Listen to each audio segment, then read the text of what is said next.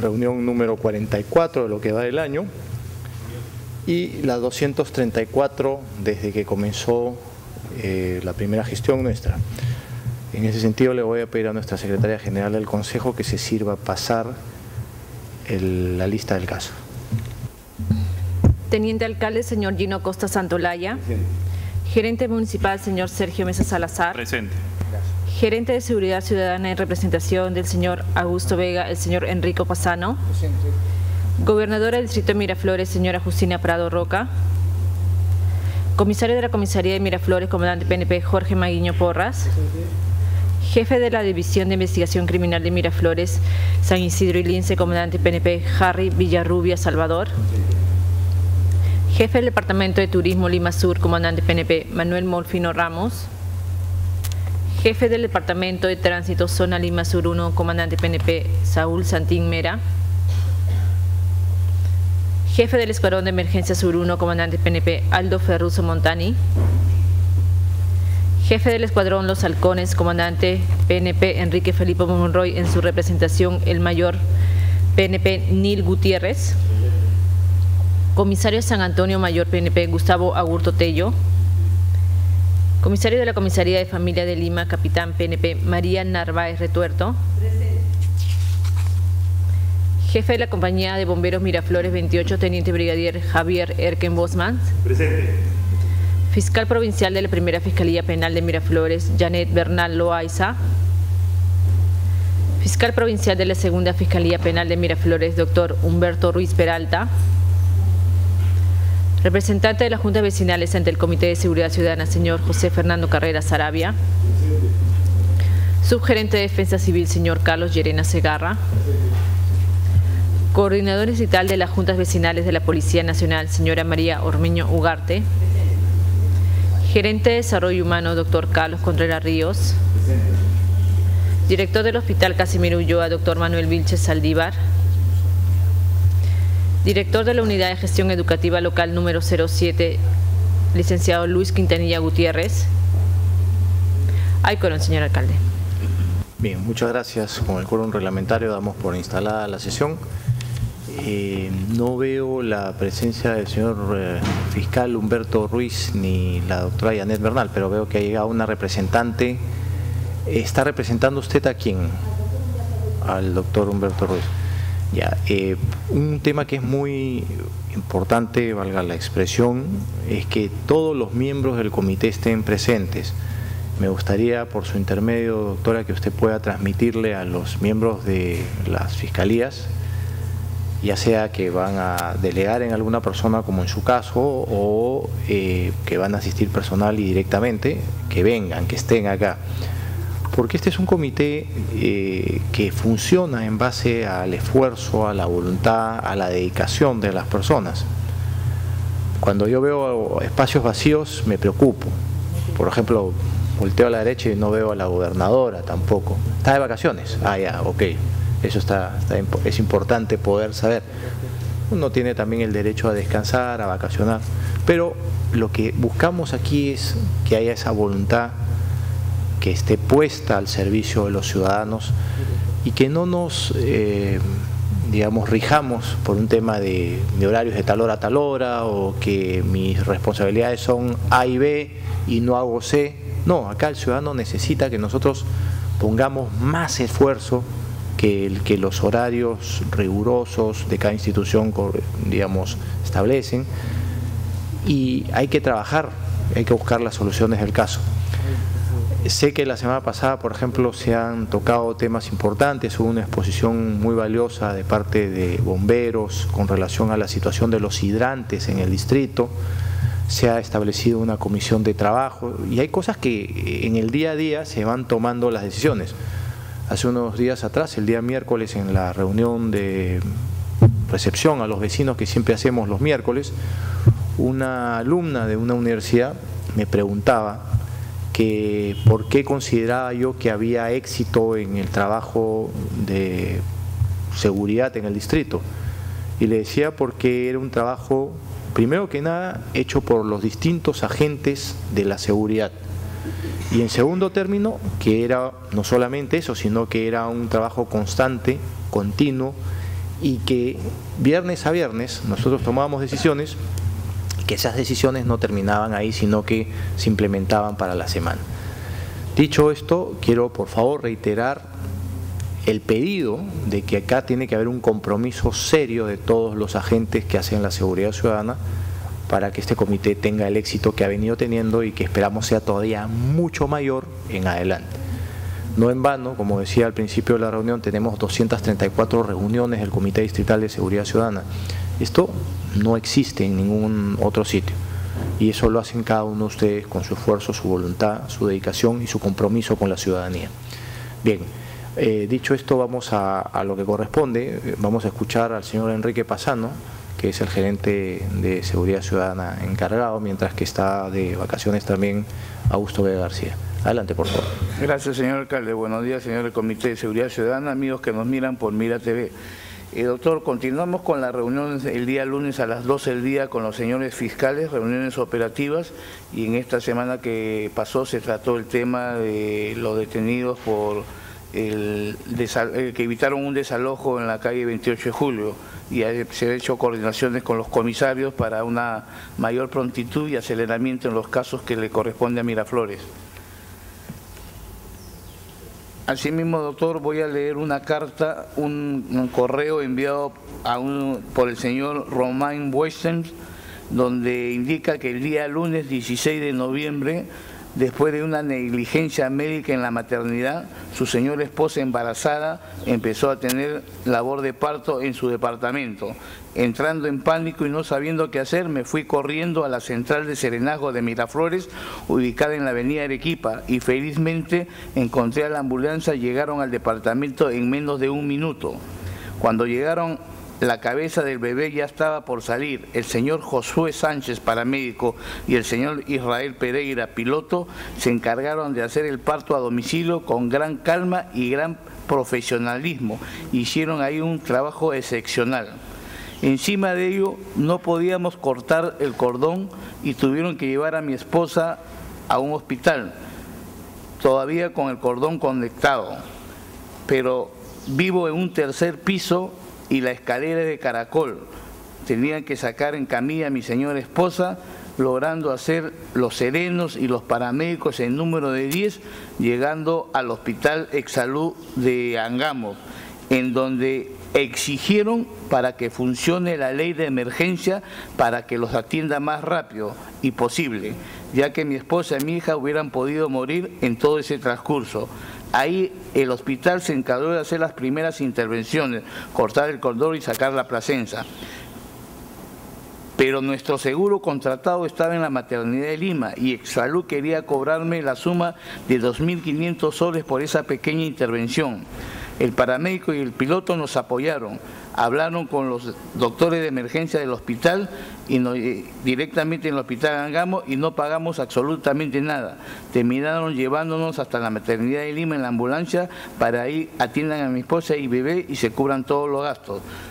Quisiera sinceramente, señor alcalde, agradecer por el profesionalismo y la entrega del personal de paramédicos y en su persona felicitar a los miembros que intervinieron el, paramédico José Sánchez, el piloto Israel Pereira, los serenos Seferino Mendoza, Carlos Quiroz Vallascos, Elis Ambrosio Damaso, Ricardo Durán Otochi, Víctor Pereira Ríos, Teddy Ríos Damián, Américo Aguirre Viega y Paul Albán Barona. Quedando de usted eternamente agradecido, Ramón Weisman. Bien, muchas gracias. Eh, Creo que esto es algo digno de ser resaltado. Son algunas cosas que los vecinos aprecian muchísimo.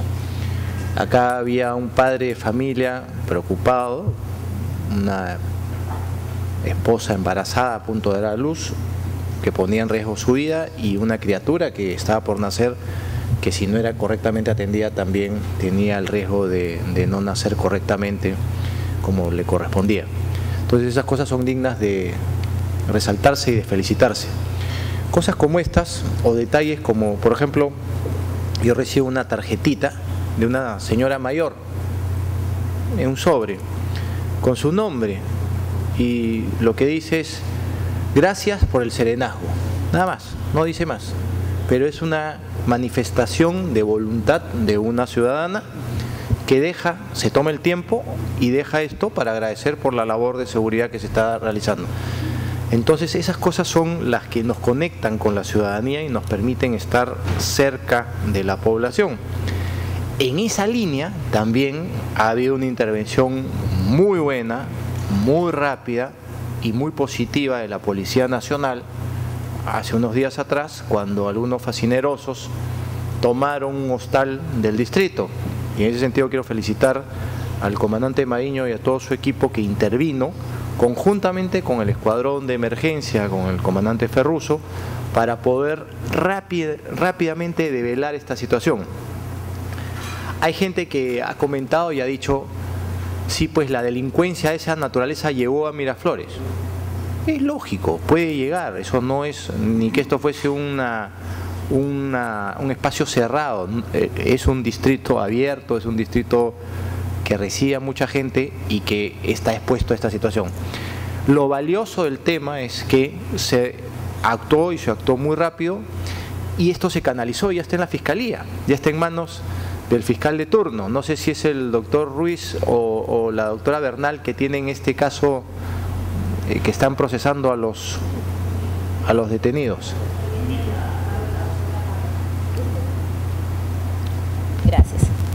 Este caso ha estado a cargo de la doctora Janet Bernal, eh, la primera Fiscalía Provincial Penal de Miraflores, en el que ha solicitado la prisión preventiva de todas este, las personas pues, que fueron capturados por la oportuna intervención de la comisaría de Miraflores. ¿no? Se llevó el atestado a tiempo, se trabajó en forma conjunta y se pudo hacer un buen trabajo este, pidiendo al juzgado penal de turno de Lima este, la prisión preventiva de todas estas personas. ¿no? Excelente, eso es muy muy valioso y, acá se nota el trabajo coordinado y debidamente afiatado para que el resultado sea el que se busca. ¿Cuál es el mensaje que, nosotros estamos dando a la comunidad? Que aquellos delincuentes que actúan de esa manera rápidamente van a ser eh, capturados, procesados y esperemos que también paguen la pena muy rápido, ¿no? Muchas gracias por las intervenciones en ese sentido y felicitaciones de nuevo a quienes han intervenido en ello. Le damos a dar el uso de la palabra al comandante Jorge Maíño para que nos dé el informe de la semana. Gracias, muy buenos días señor alcalde, buenos días señores integrantes del CODICET, invitados presentes, televidentes que nos observan por las imágenes de Mira TV. Eh, durante esta semana, del viernes 20 al jueves 26 de noviembre, eh, se ha logrado la intervención a un total de 42 personas ¿no? Eh, en delito flagrante. Resaltar, como indicó hace un momento nuestro señor alcalde, la captura de 36 personas en este en esta diligencia de lanzamiento que se iba a realizar en, la cuadra 4 de la avenida 28 de julio. Eh, contarles pues de que se trataba de, un lanza, de una medida eh, dispuesta por el titular del juez titular del 34 Juzgado Civil de Lima. Eh, esto ha sido con, antelación, fue preparada la orden de operaciones, se involucró a 120 efectivos, se solicitó apoyo de unidades especializadas de, de Lima, de la región policial también. Y bueno, eh, el operativo estaba, estaba pactado para las 9 mm, de la mañana, pero a las 8 tuvimos ya información de serenazgo de que personas extrañas se encontraban al interior y al exterior de, de dicho hotel con la finalidad de frustrar pues, la diligencia de lanzamiento. Eh, oportunísima la, reacción del escuadrón de emergencia que, llega con un patrullero en, primera instancia y luego comunica a otras unidades. Llegaron alrededor de 10 unidades móviles del escuadrón de emergencia logrando la captura de 28, de 28 personas en ese momento. Eh, cuando llega quien habla con el personal ya para realizar la diligencia con el secretario al lugar, eh, se procede al deserraje y al interior intervenimos a 13 personas. Eh, hicieron un total de 41, pero tenían al interior, habían cinco trabajadores del hotel que prácticamente habían sido secuestrados por estas personas, para que no, salgan al exterior. se realizó el atestado correspondiente, Eh, el día de ayer tuve la oportunidad de conversar con la doctora Bernal, eh, un trabajo eficiente del Ministerio Público, ya lo dijo la doctora, de que se ha solicitado la prisión preventiva para los 36 detenidos, pero sí me comentó la experiencia, la doctora bastante preocupada y, sobre todo el trabajo arduo que han tenido, se han tenido que sacar fotocopia a los 36 carpetas eh, fiscales que tenía en ese momento, cada carpeta tenía como 500 folios. ¿Y por qué 36? Porque cada, cada detenido tenía que tener su, su, ¿no? su, la, copia de todos los actuados para que haga uso de, su defensa, ¿no? para que el derecho constitucional que, que, ampara a todo, a todo ciudadano.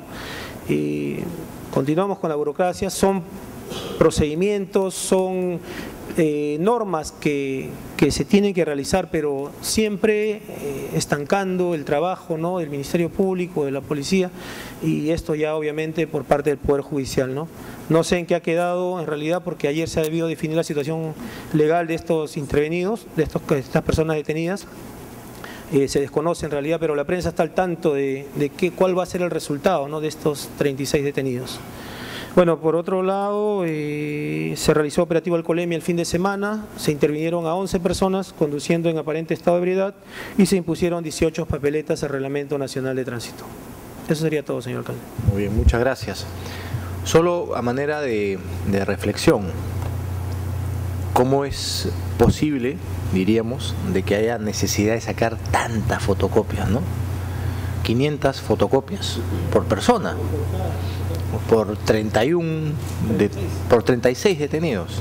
Entonces, eh, ese es realmente una, algo jalado de los pelos, ¿no? Y nosotros deberíamos tratar de hacer notar esto a la población y a los legisladores, el Congreso, eh, las distintas instituciones, la superioridad de las instituciones, porque esto, lejos de ayudar a que propuestas proactivas, acciones valiosas, valerosas, como las que se han resaltado hoy, tengan el resultado, traba, traba la posibilidad de que el resultado sea el mejor.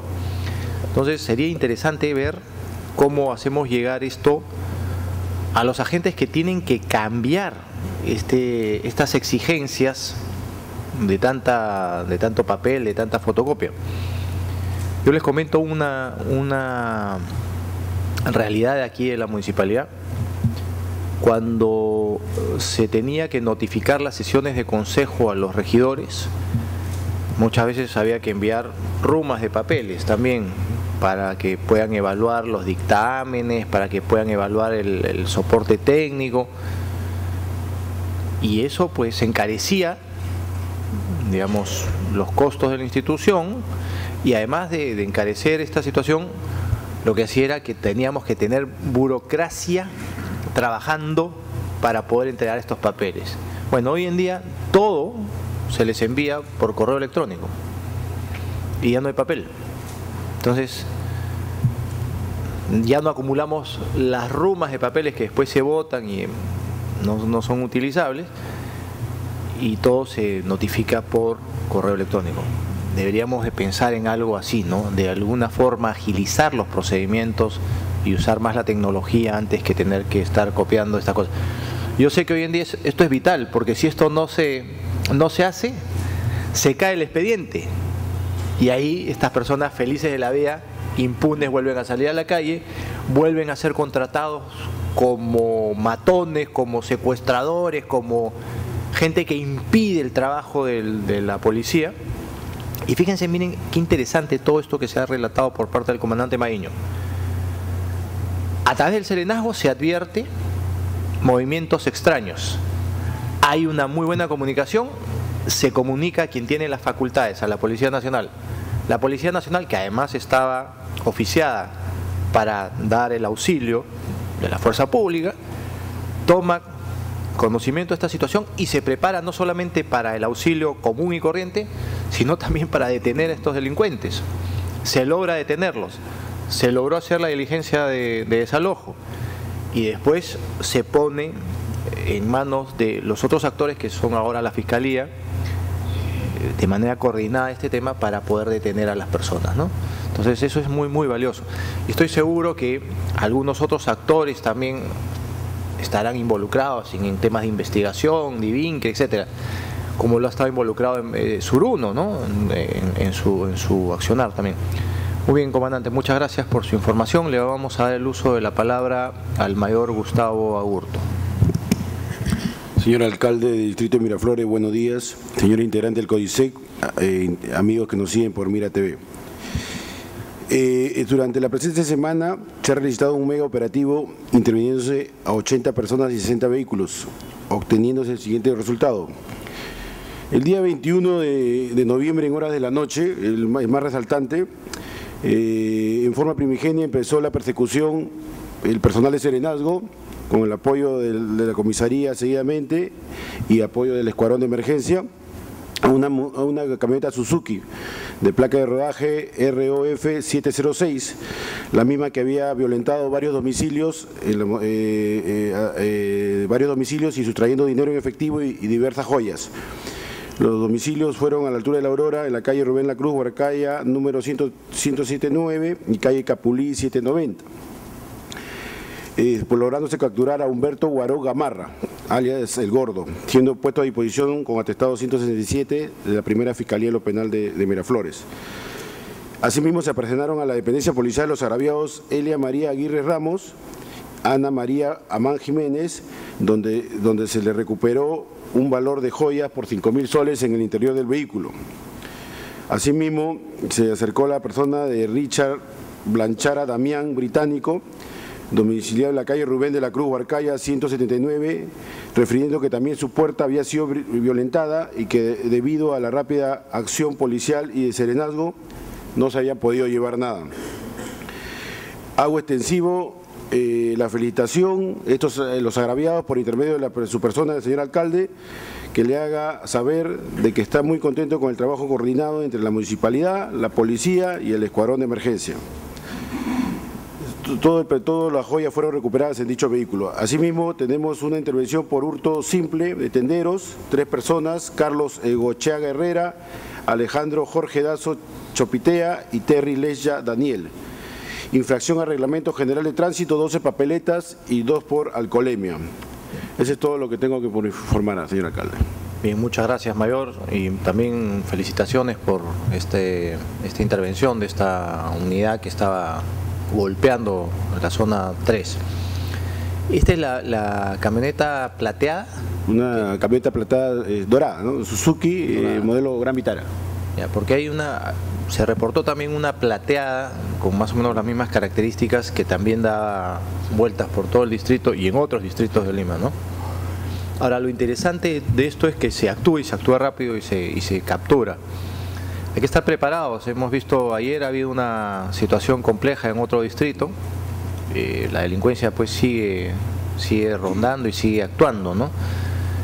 Eh, lo único que nosotros podemos hacer es prepararnos, estar algunos pasos adelante y actuar, sin duda.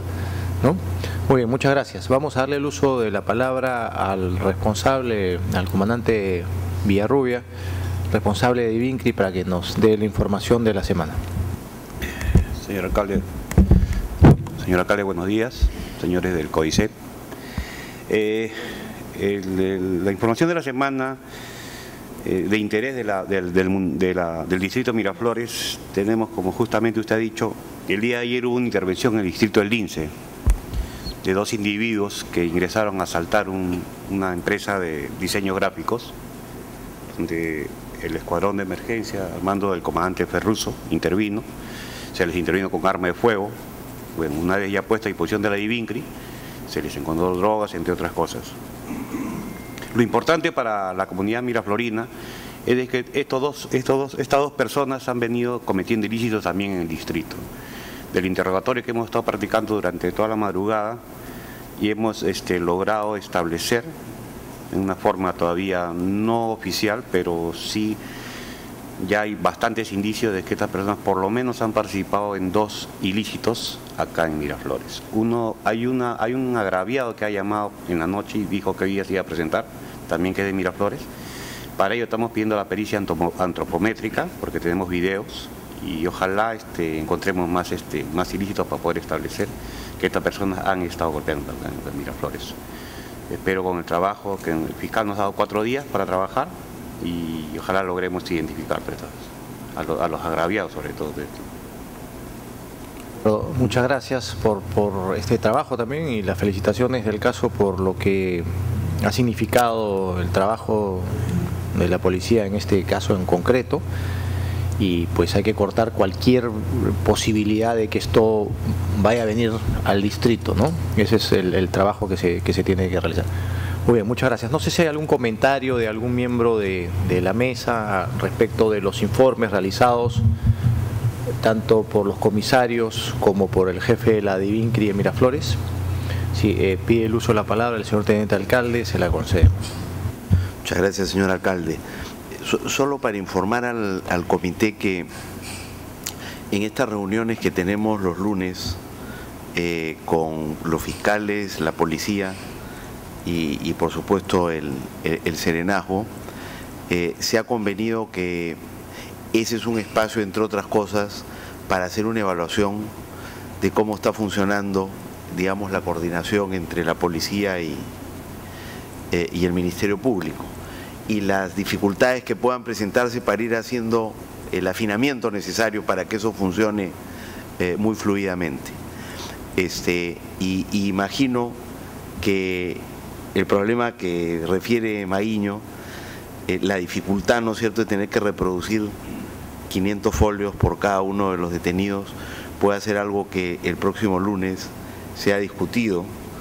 Este, porque en algunos casos, claro, son cosas que tenemos que afinar internamente, en otros casos se puede hacer una recomendación a instancias superiores para, como por ejemplo ha sugerido el alcalde, ver de qué manera este, con una informatización de, de, los procesos y de la información se puede superar un problema de este tipo. No creo que sea tan fácil hacerlo, pero, pero bueno tenerlo identificado porque se volverá a presentar seguramente no en una magnitud como la que hemos tenido ahora.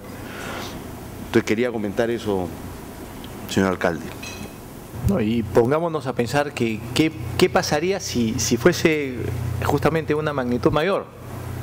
Más personas, sería más complejo y más, eh, eh, más difícil para lo que es eh, el ejercicio de una situación de generación de una cultura de paz, de seguridad.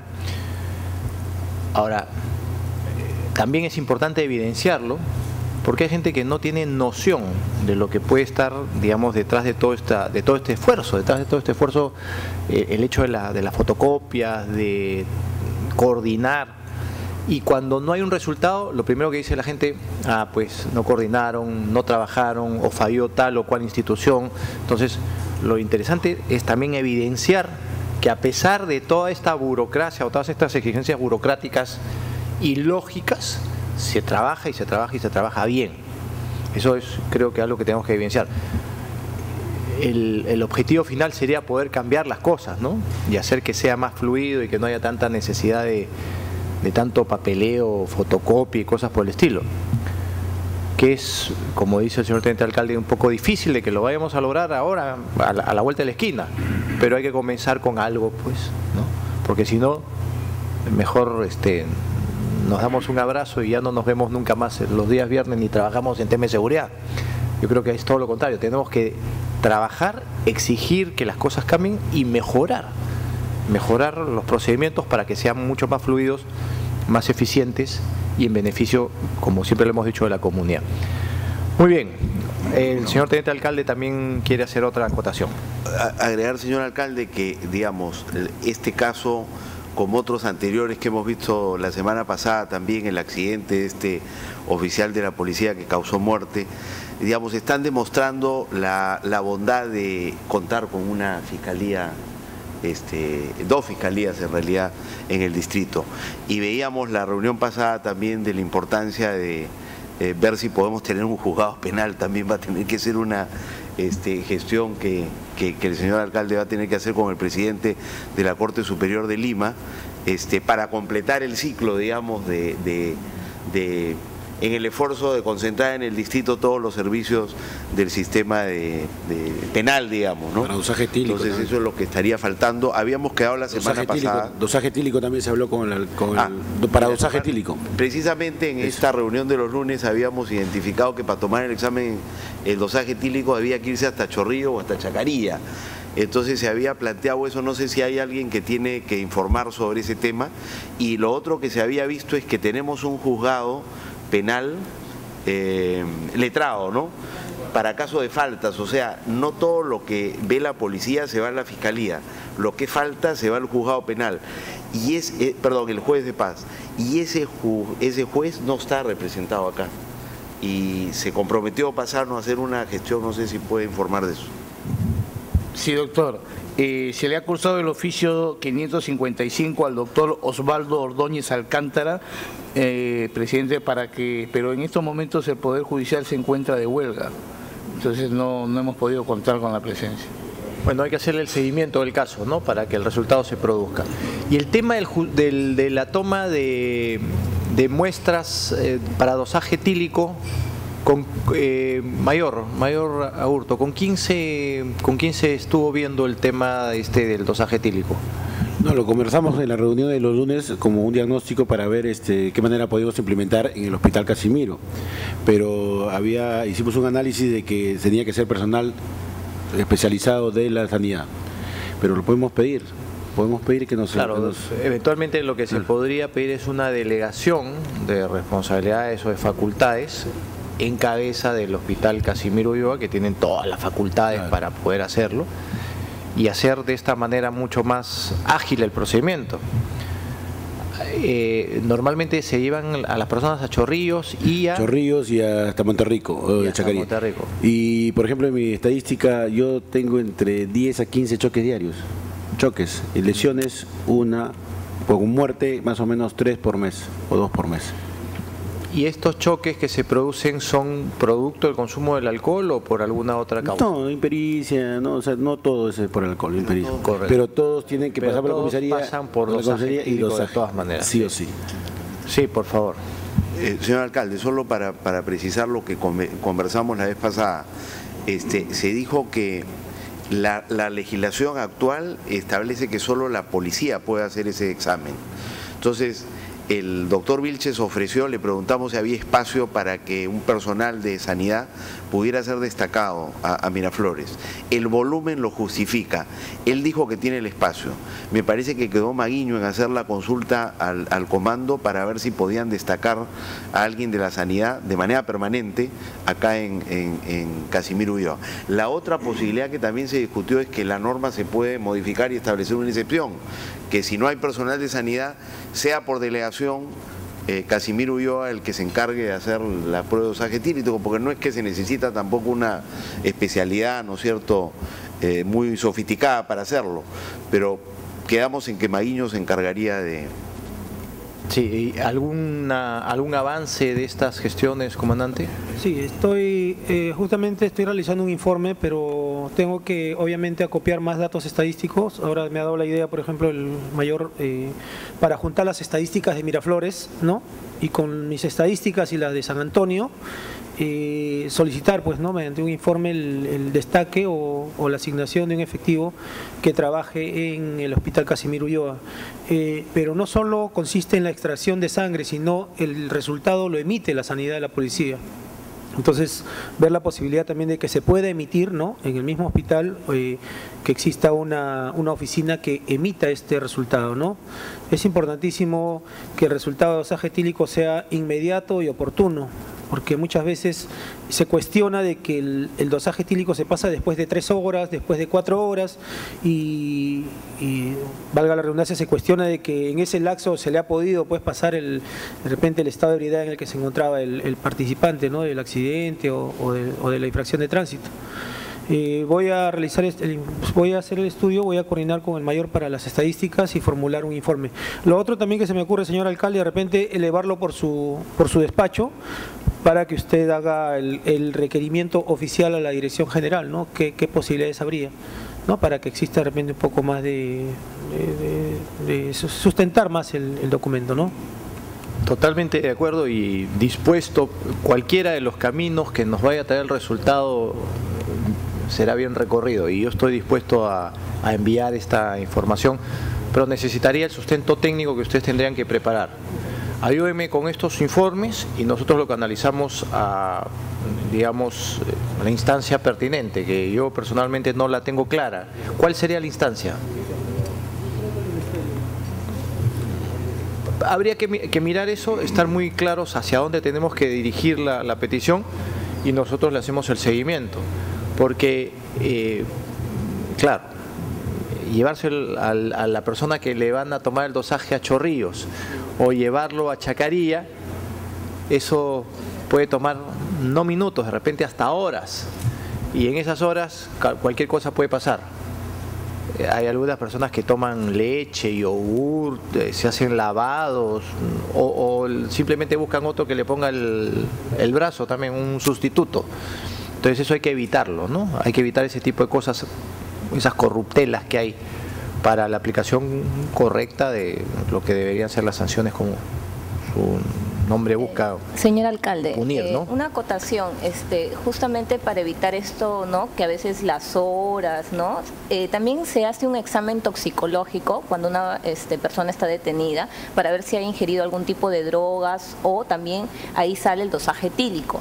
En la orina, este, el alcohol permanece mucho más tiempo. Entonces sería bueno que también, este, para evitar estas suspicacias de las horas, todo eso, pasen el examen toxicológico y dosaje etílico, porque hemos tenido un caso en que eh, se pasó dosaje etílico, pero el momento que lo llevaron al toxicológico, en el toxicológico pusieron no pasa este el detenido el examen toxicológico para ver en la orina si hay alcohol, porque ya pasó el examen de sangre, ¿no? Entonces ¿no? Hubiera sido mejor y preferible que pase su toxicológico con la orina y a efectos de descartar cualquier ¿no? irregularidad o suspicacia, ¿no? Eso también quería acotar, ¿no? Al respecto. En ese sentido, ¿qué dice la normativa? ¿Que hay que pasar los dos exámenes?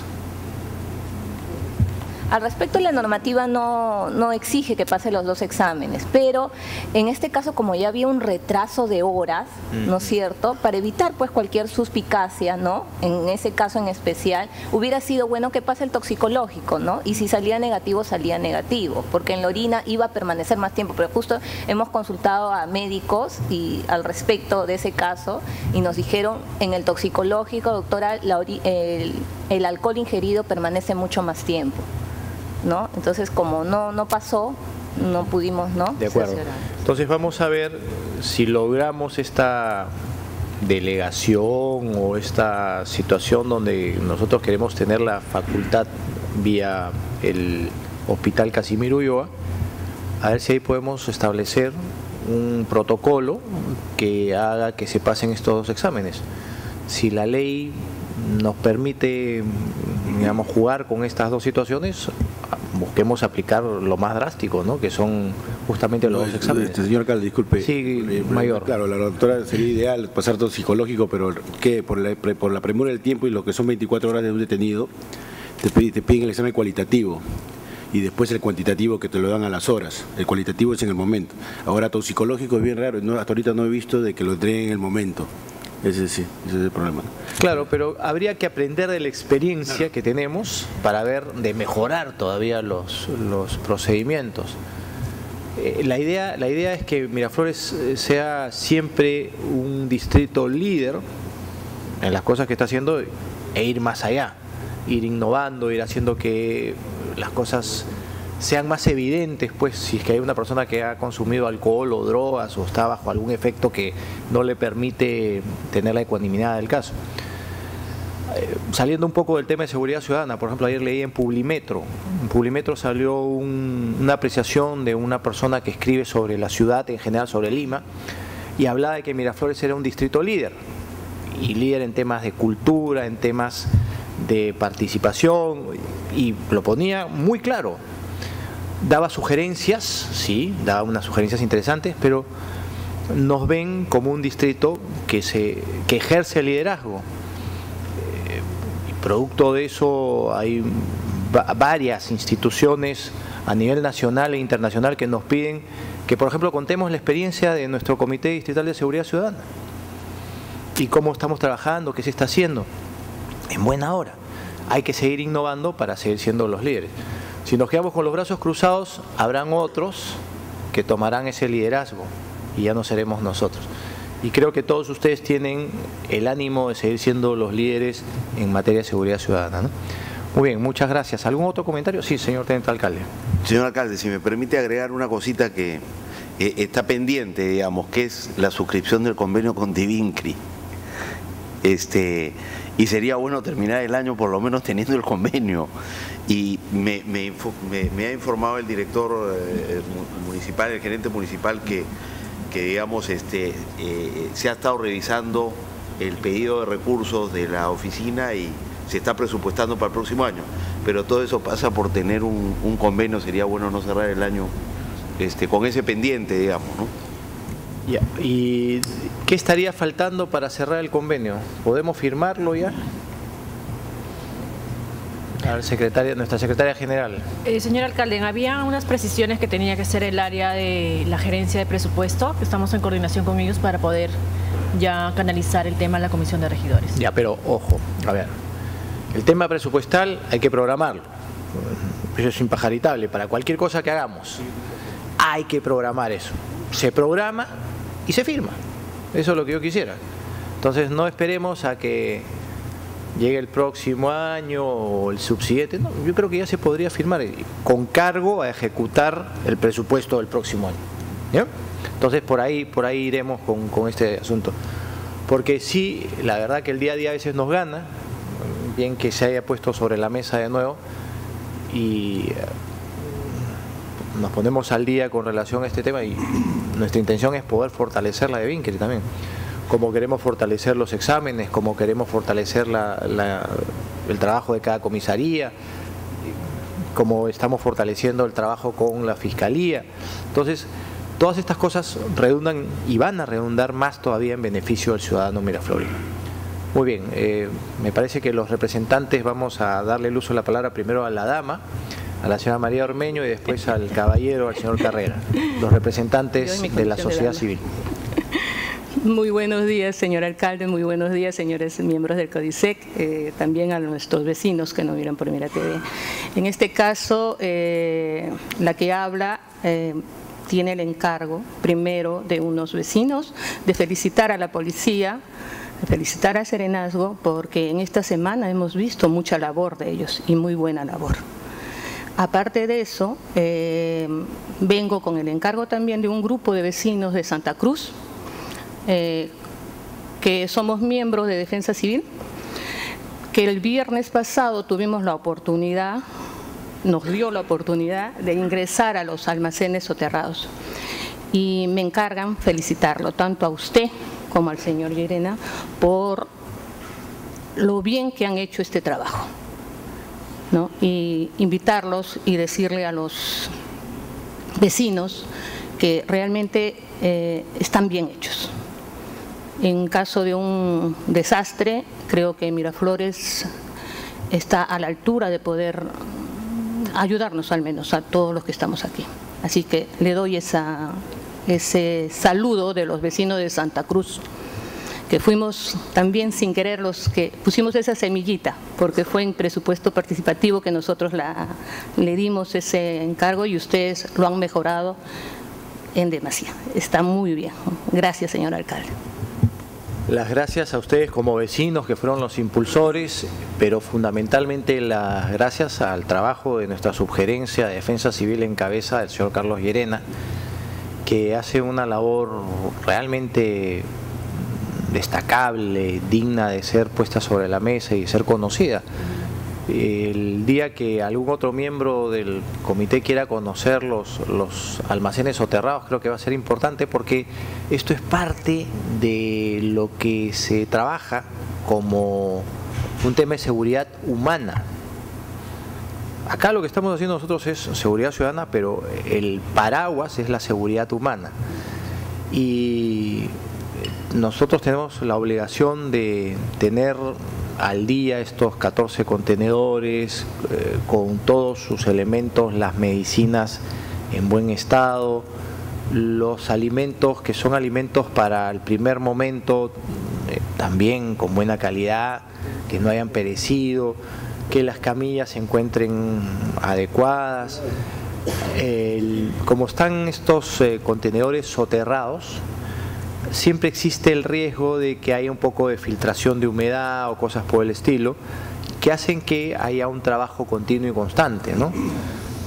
Trabajar en, un distrito cercano al mar y, húmedo como es Miraflores hace que haya que tener algunos cuidados que la Subgerencia de Defensa Civil está teniendo para tenerlos, digamos, dispuestos, porque una emergencia no avisa cuándo va a, suscitarse y un desastre no nos, no nos, dice mañana voy a aparecer, sino que aparece de, de, improviso. ¿no?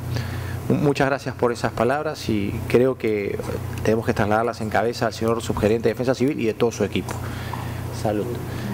Señor Carrera, tiene usted el uso de la palabra. Señor alcalde, muy buenos días, señores miembros del comité. Quien habla es un vecino que en este tiempo ha analizado todo lo que viene sucediendo en el Comité de Seguridad Ciudadana y realmente hay que resaltar algo.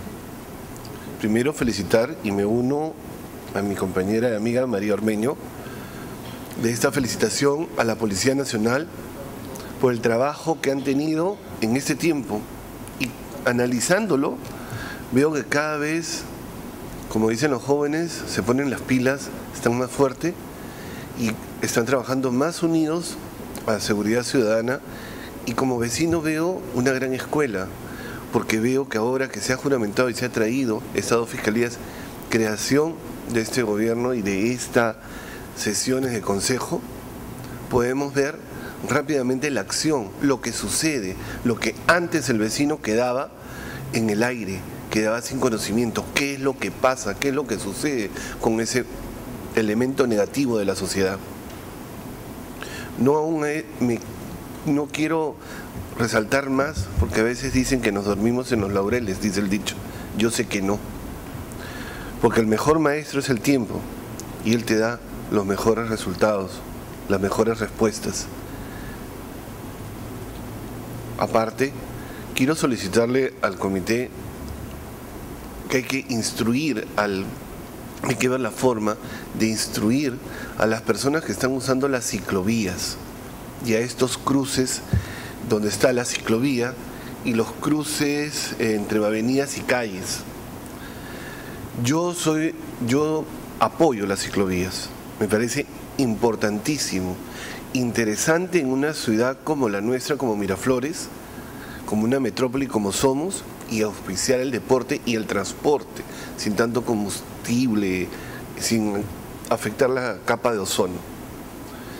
Pero hay personas negativas que no las están usando, y esto me lo, en, en estas semanas que he venido, que he caminado con los vecinos, hemos notado que son pícaros y se meten a estas zonas, son, no sé si son motocicletas, no sé el término, pero tienen un motor pequeño, repartidores con ya con motos y además no está orientado el sentido del tránsito. Si es de una sola vía, que si va corriendo con el tránsito, si es de un solo carril, o si hay doble.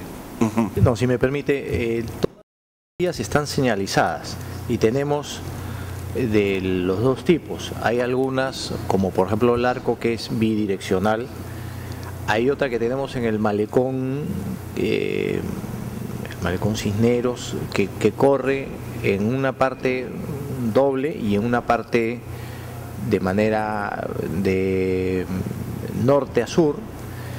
Y hay otras como por ejemplo la de Reducto que tiene una sola, una sola dirección que se empata después con 28 julio en una sola dirección. De hecho, por ejemplo, como experiencia nada más, y, quería comentarlo, ayer estuve con unos eh, ciudadanos ecuatorianos que estaban visitando la ciudad y estuvimos caminando un poco con amigos, pero que querían ver la ciudad y veían algo que les llamó mucho la atención. Ellos decían que en Quito las ciclovías son muy anchas, ¿no? Y acá eran un poco más delgadas pero resaltaban que las de acá, que son un poco más delgadas, cumplían con la normativa necesaria y que además, y esto era la parte interesante, era que se veía flujo de bicicletas. Y ellos decían, mientras que en Quito tenemos ciclovías anchas, no pasa ni una bicicleta al día. Un poco en, son de broma lo decían, ¿no? Pero lo, bueno, señor Carrera y señores miembros del comité, que en nuestras ciclovías la gente está circulando muchísimo. Y los traje al arco. Y les dije, según nuestro departamento de obras públicas, hay una medición de que antes pasaban 20 bicicletas por hora en una sola dirección, que era la dirección de, natural del arco. Ahora pasan por lo menos 120 por hora. Fíjense cómo ha crecido exponencialmente el uso de la bicicleta en este espacio. Y nos paramos un rato y veíamos gente que iba de un lado, de otro lado, y por ahí también apareció un, muchacho con sus patines, que también entran a la ciclovía, están usando esa vía. Es, compatible dentro de todo. Lo interesante es que se está dando, y sí rescato lo que usted menciona de que tenemos que seguir instruyendo, tenemos que seguir dando eh, elementos de seguridad con la policía, con el serenajo, con nuestra gente de obras, con eh, las personas que hacen el tema, con los inspectores, todos los agentes. Siempre tenemos que seguir instruyendo el buen uso de la ciclovía. A mí me gusta usar mucho bicicleta, yo soy ciclista. Y a veces entraba a las ciclovías y me encuentro con gente que viene en contra.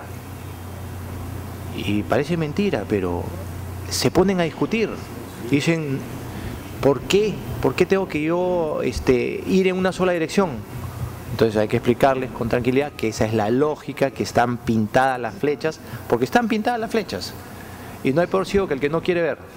Y el que quiere discutir va a discutir cualquier cosa. Pero la gente va entendiendo, es parte de un proceso cultural.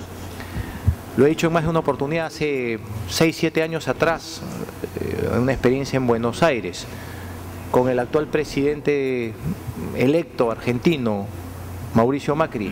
Cuando yo vi que él ponía las famosas bicisendas que le llaman allá, dije, esto no va a funcionar. Me equivoqué. Funciona y funciona muy bien. Y de esa experiencia nosotros hemos tomado esto y hemos traído las bondades de una ciclovía para el caso de Miraflores. Por supuesto que en cada caso se tropicalizan las cosas de acuerdo a lo que uno tiene, ¿no? Es el, tema del hábitat, el tema del entorno, las costumbres, pero están funcionando, gracias a Dios, y funcionan bien. Y todavía tenemos algunos proyectos más que van a venir porque tenemos un compromiso de hacer 34 kilómetros de ciclovías. ¿no? solamente quería complementar su, su posición con, con, esta idea. El señor Pasando ha pedido el uso de la palabra. Adelante, por favor. Sí, doctor, gracias. Para hacer conocer, doctor, que el día viernes 20 pasado fui invitado en representación de la municipalidad al primer foro internacional de seguridad ciudadana y experiencias exitosas en la Cámara de Comercio de Lima, donde se presentaron el expresidente Toledo y señor Gino Costa, el doctor Gino Costa y otros representantes para tratar el tema de la seguridad ciudadana. Muy bien, de, repente después que termine el, señor Carrera, que le hemos interrumpido, le podríamos dar el uso de la palabra al señor Lino Costa si quiere hacer alguna alusión al, tema. El señor Carrera. Para concluir, este, agradezco su palabra, fortalecen el pedido, es hermoso y ahí está un ejemplo. Miraflores comenzó con, el, comenzó con esto de las vías de ciclovías, vamos aprendiendo en el camino, no todo es igual, mire Argentina, la diferencia con Perú, ¿no? Es el hábitat, igual es en el serenazgo, igual en, este comité se han mejorado las cosas y asimismo termino eh, pidiendo por la avenida 28 de julio, en lo que es de República Panamá a Vía Expresa, donde sucedió este accidente, ¿no? y es la velocidad que se toma. Ahora vienen fiestas patrias, vienen fiestas patrias y tenemos que estar preparados, perdón, fiestas navideñas, me estoy eh, me he atrasado, la emoción de... hay, que, hay que someterlo a dosaje etílico ya que... el Thanksgiving del día de ayer ha sido, ¿no? El día de acción de gracias, parece que ya pasó. Le pido por favor a la Dirección de Tránsito de la Policía Nacional, a Sur 1, a los halcones, Viene 28, Miraflores es el embotellamiento general, sobre todo en 28 de julio, y la gente acelera, quiere llegar siempre a tiempo, quiere cumplir todos los compromisos y es un pedido general. Muchas gracias. Muy bien, muchas gracias. Entonces, dos pendientes, dosaje etílico y toxicológico. Muy bien. Eh, ¿Alguien más, perdón, eh, quería hacer uso de la palabra del señor Teniente Alcalde? Si me permite com- completar el informe de don Enrique, ¿no? Eh, en efecto, un foro internacional que concluyó con la invitación a los candidatos presidenciales, salvo el presidente Toledo, los candidatos enviaron representantes, eh, y en esa mesa que fue el cierre del, evento, eh, participaron tres comentaristas que hacían preguntas a los candidatos. Un representante de los empresarios, el padre Chiqui, eh, que tiene un poco la experiencia de la prevención con jóvenes, este, y la idea era tener representante de, de los municipios como protagonista de la seguridad ciudadana. Y llegó la invitación para nuestro alcalde, nuestro alcalde está de viaje y entonces estuvo muy bien representado por, por Enrique Pasano. Interesante mencionarlo porque en un evento como este, como digo, con, con los candidatos y sus representantes discutiendo los grandes desafíos de la seguridad para los próximos años, Miraflores representado como un interlocutor eh, un representante de los municipios discutiendo con los futuros gobernantes sobre el rol también que ellos esperan darle a los municipios eh, en la seguridad ciudadana. Me pareció muy y muy buena la, digamos, la presencia y la participación de nuestro gerente de seguridad ciudadana encargado. Muy bien, muchas gracias. En esa línea, un tema que siempre hemos eh, nosotros... Creo que el resultado de seguridad sería otro. La calidad del servicio sería otro. Entonces, esas cosas tienen que ser tomadas en cuenta. Además, y esto no es ningún secreto, que el nivel de gobierno que está más cerca de la gente es el nivel de gobierno municipal. Tenemos tres niveles de gobierno, municipal, los gobiernos regionales y el nacional. El que por naturaleza está más lejos de la gente, por la magnitud, por lo que significa, por lo que es, es el gobierno central. Pero los gobiernos locales, los resultados se pueden ver muy rápido, o los no resultados también. ¿Se dan cuenta? Por eso la responsabilidad que tenemos nosotros de tener resultados y tener cercanía con la gente. Muy bien, tenemos ya casi el, término vencido y hace algunos días que no escucho a los, a los jefes de área que hace tiempo están muy tranquilos, relajados, no sé si en la última reunión los escuchamos. Quería saber si hay algún tema de trascendencia, algo en particular que complemente lo mencionado. Si, y si no lo hay, vamos a levantar la sesión para respetar los horarios. No tenemos entonces nada. Ofrezco si hay algún último comentario de algún miembro de la mesa. Si no lo hay, levantamos entonces la sesión. Muchísimas gracias. Hay que recordar que la próxima semana hay una sesión descentralizada y es importante la presencia de todos, por favor. El Parque Cisneros. Eso está eh, en la altura de Benav- 17 de Benavides, muy cerca, para que se ubiquen ustedes, de la famosa esquina del colesterol, donde hay un montón de locales de, de consumo de hamburguesas, etcétera. Eh, así le llaman los doctores la esquina del colesterol. Muchas gracias, nos vemos.